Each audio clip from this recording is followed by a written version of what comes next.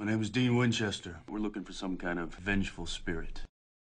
I have visions. Dean, it's another premonition. I know it. The demon said he had plans for people like us. You know the truth about Sammy, the other children.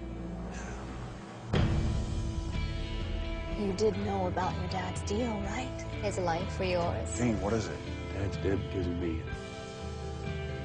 That much I do know. Did he say anything to you about anything?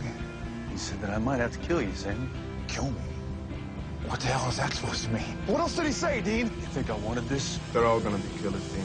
We gotta take them all out. And that means Sammy, too. How's a guy like Sammy become a monster? It's me, but he will. No, you don't know that! It's his destiny. I don't believe in that destiny crap. You can't run from this, and you can't protect me. It's over for me. It doesn't have to be for you. No, you can keep going. Who says I want to?